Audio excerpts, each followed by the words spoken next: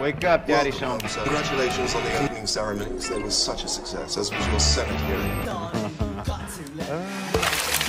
You! Until you all soak your motherboard, I'll turn you into a wine rack. We are up to 80 ounces a day to counteract the symptoms, sir. Blood toxicity, 24%. God, they're running out quick. Serve as a viable replacement for the palladium core. Unfortunately, the device that's keeping you alive is also killing you.